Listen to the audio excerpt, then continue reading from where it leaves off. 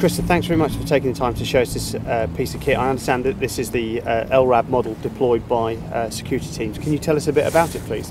Sure, Graeme. Uh, thank you for, for getting the chance to be here. And like you said, I, I work for LRAD. It's a company based in San Diego, in, in California, in the States.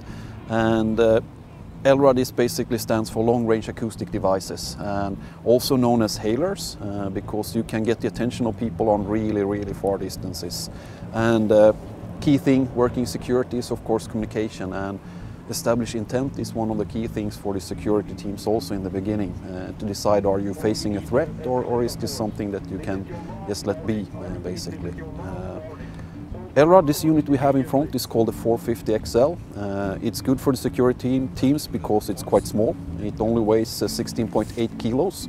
It's quite easy to handle from the size as you see. Uh, it can go up to 146 decibels A, which gave, give, gives us the capability to operationally target things 500 meters out at the level of 88 decibels A. And to give you an understanding of that, uh, we're basically talking between 60 to 65 decibels right now. So 88 would be significantly higher than the sound of a, of a small vessel running on its outboard engines. Okay. So you would be heard definitely there. Great. So um, Artemis, our small fast boat, is 700 uh, metres away. We've just sent the first of the warnings uh, to uh, Artemis, um, and uh, we've got a camera on the boat which will uh, pick up the sound levels that we got there.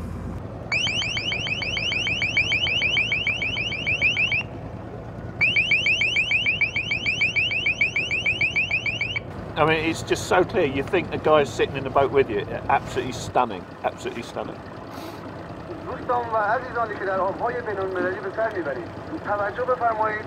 The use case specifically for LRAD is about communication. Right. so you can't warn a suicide bomber away from your ship, but you can uh, use it to uh, to deter someone that isn't a suicide bomber by communicating with them uh, at some uh, at some distance. You're completely right, Graeme, because uh, a big issue that you have in situations like this is to one establish the intent and, and identify is this a threat for, for me I can take it from, from handling the refugees in the Mediterranean Sea. Uh, the problem they have there is when they approach uh, these small vessels, quite bad vessels, uh, often the refugees get so excited so they start to move maybe to one side of the vessel and it just goes around and then you have suddenly everyone in the sea. Then they use the hailer basically to tell them on five, six hundred meters that uh, please sit tight on the boat, don't start to move on the boat uh, and we will pick up you and help you. Uh, so you're completely right, it's, it's not a weapon in any way to, to push away like like uh, like if you have armed piracy coming against you. It's it's more about identifying them and then get away of maybe the the parts or the innocent parts that, that shouldn't be there in that area and then you buy time. If you can do that at 1000 meters, 500 meters, uh, the security officer can think of the next step and, and be more uh, safe in his rules of engagement. When we talk to uh, to users, they, they say, well, uh, you know, LRAD is, uh, um, is, is terrible as a sonic weapon, and that um, yeah. you know effectively that the, the bad guys can put their things in their ears and Yeah. uh, come up and attack the operator. Um, can you just um, talk to us a little bit about that? Sure.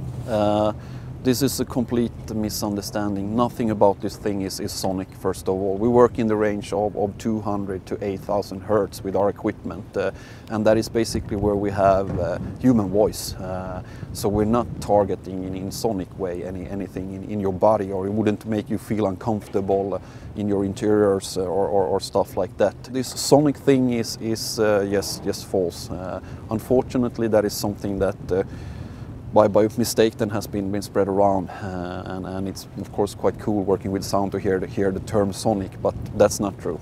Krista, thanks very much for, for talking about uh, Right. this. Uh, I'm slightly uh, curious about this piece of equipment. Can you tell me a bit about that, please? Exactly. Um, this is a little bit uh, maybe what's coming up for us that probably will be big for LRAD. Uh, it's what we call mass notification. And, and these systems are omnidirectional. So these direct sound 360 degrees around the horizon. Uh, this is more for, for keeping a larger area of population informed and, and say that you go into an area with these fishing boats that we were discussing, you could basically send a message that goes around instead of being on one side of a vessel pointing at some certain persons. Here will, you will reach the crowd that is uh, surrounding uh, your vessel or the area where you need to be doing your operations.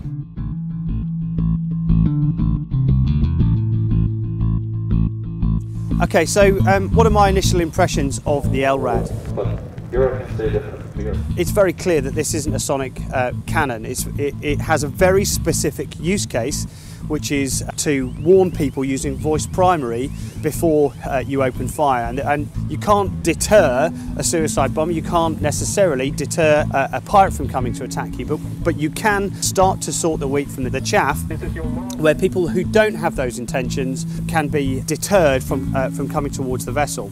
One of the main problems, and as we've seen in our research and development, it is extremely difficult to tell the difference between the good guys and the bad guys. Um, so anything that you can do to try and discern the, uh, the two is, uh, is worth doing. My impression is that you would buy LRAD if you were concerned that you didn't want to, to open fire on, on an innocent party and uh, you wanted to build as big a uh, case as you possibly could to prevent that from, uh, from happening. If your use case is um, you want something that is a uh, non lethal substitute for a weapon, LRAD's not the thing for you.